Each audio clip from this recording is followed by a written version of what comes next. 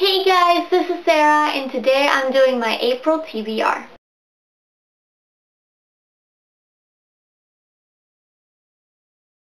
So this month's theme is probably the biggest TBR shelf on my Goodreads besides contemporary.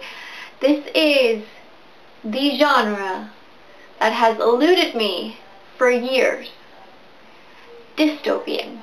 When buzzing with dystopia and The Hunger Games was already out and Divergent was already out and all the news stories were coming out, I moved. and I could not read any of them. So, like, the grand majority of the most popular dystopians I have not read. So, I decided that every April will be dystopian month because if I don't do that, I'll never catch up with my dystopia. So for this first round of dystopia months, I've gotten quite a few popular and some not very popular and even a free ebook which I'm really excited about. So let's get started. So besides the dystopian books that I personally picked, I have to do my TBR jar. Okay. I have to go like deep because if not then I just get same things every time. What? I don't think I can read this. Wait, what is this? Oh! Oh! Okay, um, I guess. So, I got The Golden Lily by Richelle Mead, and that is part of the Bloodline series, so I guess I'll be reading Bloodlines, because I can't read this book, because it's probably, I don't even know, it's like the third, the second book, the third book, something like that. So, Bloodlines it is. Aside from my TBR jar, also any books that I didn't finish in March, I will be reading. I am pre-filming this, so I have no idea what those books are. But they'll be in my list for the month at the bottom. So depending on what I can finish next, this month, this month, it's, it's still March.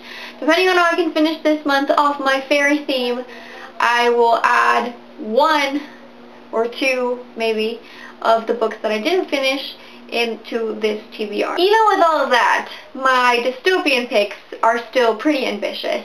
I have the first week of April free because it's like our spring break, but besides that, I'm going to be working. So who knows? I'm probably not going to finish all of these, but I'm going to try because I want to.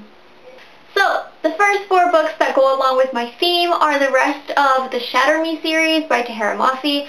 I read Shatter Me last month as my TBR jar pick, and I really enjoyed it. So now that I'm in Dystopian, I really want to finish the trilogy.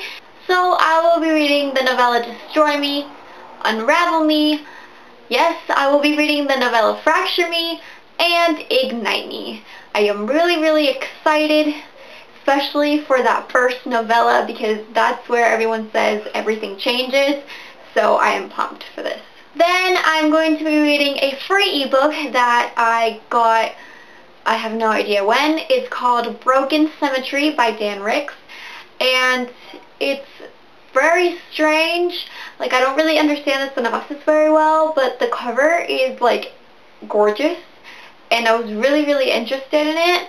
And I haven't read a free ebook in a really long time and I have more than 100 so I just should definitely get on that. So let's see how that goes. Then I'm going to be reading the Legend trilogy by Marie Lu starting with the novella Life Before Legend, then Legend, Prodigy, and Champion.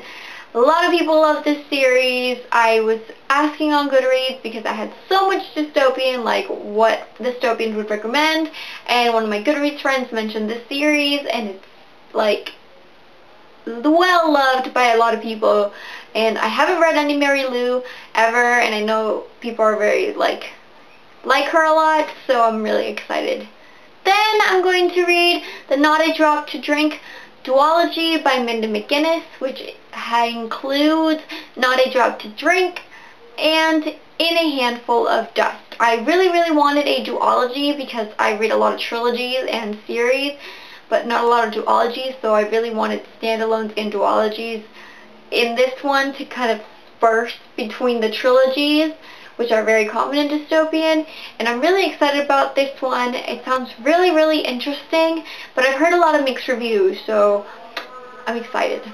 I'm, I'm intrigued. Then I'm going to be reading the Newsoul Trilogy by Jodi Meadows. This includes Incarnate, Asunder, the novella Phoenix Overture, and Infinite. I've not heard a lot of people talk about this series except Haley at Hales Loves NYC and she really enjoys it. She recently recommended it and the covers are gorgeous so I'm just like yes let's let, let's try it let's see let's see what happens. And the last book that I hope to read this month is Plus One by Elizabeth Fama.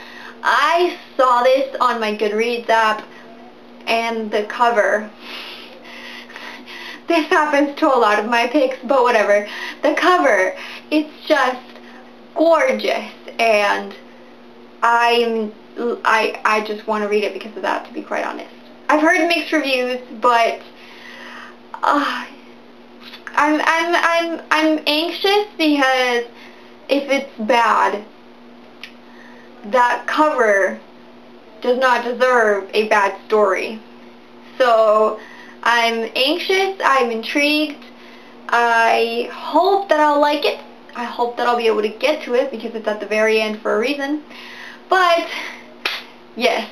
So that's it for this video. Thank you guys so much for watching. Let me know what you think of my picks for this month. Let me know your favorite dystopian trilogies, duologies, standalones, whatever series. Let me know because I need a way to organize what I read in my dystopia months because there are over 200 books in that TBR shelf and all of them sound cool and it's very, very hard to pick a reasonable number so I can digest the books. So let me know your favorites, see how I will bump them up on my list or not. I will let you know what other books I'll be adding. My fairy books will be down below because I'll also be reading that. And just wish me luck. Wish me a lot of luck. Thank you guys so much for watching and I'll see you next time. Bye!